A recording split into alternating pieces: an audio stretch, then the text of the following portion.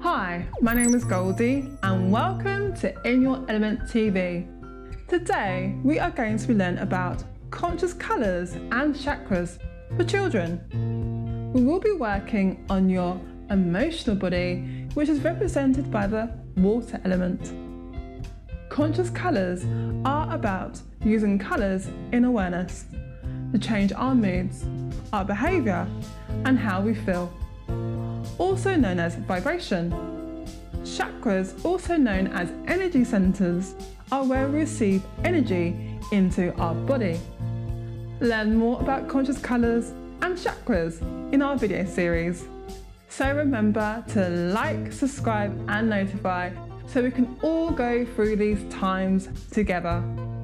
Today, we are going to learn about the chakra or energy center the heart chakra.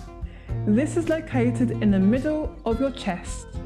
It is the colour emerald green, associated with love. We can wear the colour emerald green to feel more love for ourselves. Wear an emerald green top or jumper, an emerald green hairband or jewellery. We can visualise the colour emerald green in the middle of your chest.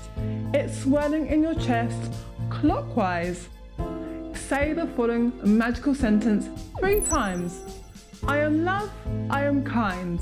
I am love, I am kind. I am love, I am kind. Say this when you want to feel more love and kindness to yourself. Enjoy using this conscious colour and let us know how it goes for you. If you have any specific requests or conscious ideas, please write a note in the comments or contact us via website or social media platforms. This is me, Goldie, signing off for now. Ciao for now!